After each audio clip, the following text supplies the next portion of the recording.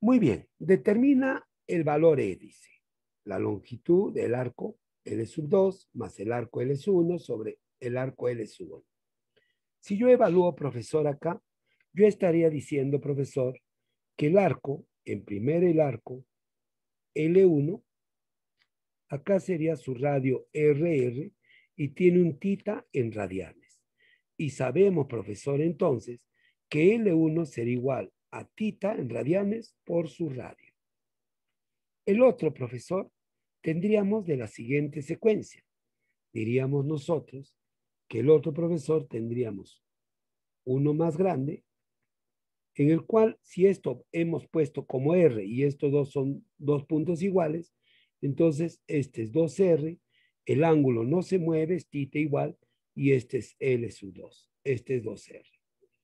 Entonces estaríamos diciendo que L sub 2 es igual a tita en radianes por el radio. Listo. Entonces, profesor, E será igual. Por lo tanto, E será igual, profesor, a decir lo siguiente. L2 es 2R tita más L1 es R tita sobre L1 R tita. Es igual. Factorizamos 2 más 1, 3.